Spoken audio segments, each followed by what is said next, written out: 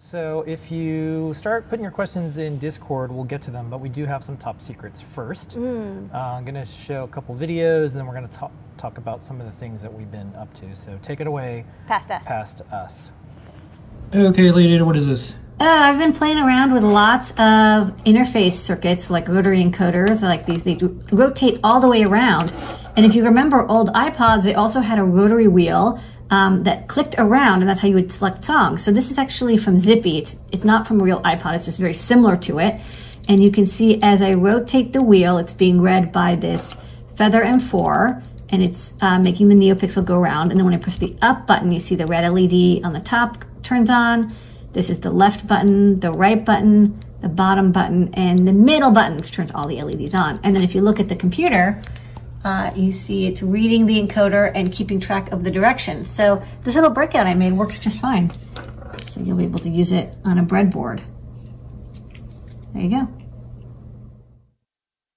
All right, Lady, what is this? Hey, I built a tester for uh, the Seesaw rotary encoder. So this is an I squared C to rotary uh, encoder converter manager that uses a SAMD09.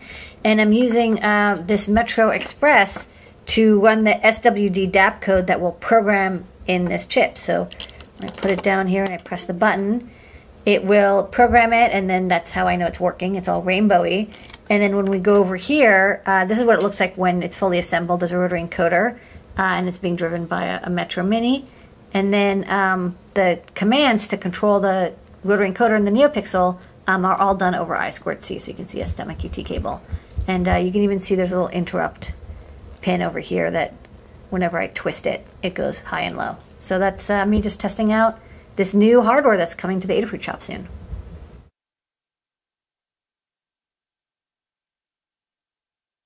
This? Hey, I'm making a NeoKey Trinkey tester using a Teensy 3.6 and our Teensy brains. When I press this button, it goes through the whole procedure, programming, checking the USB, and locking the chip. It finishes in about three seconds. And then I've got a beautiful NeoKey Trinkey. And then what you do is um, people can pick what Cherry MX key they want to solder onto it. And then uh, you can have like a beautiful glowing keycap that does one thing. In this case, it's just doing a pause consumer control, but it's reprogrammable in Arduino or CircuitPython thanks to SAMD21 E18 on the bottom there and the reverse NeoPixel. So very cool, very fast, very easy. Going to be in the store real soon. Neo Key Trinkey, your best friend from Mechanical Keyboards.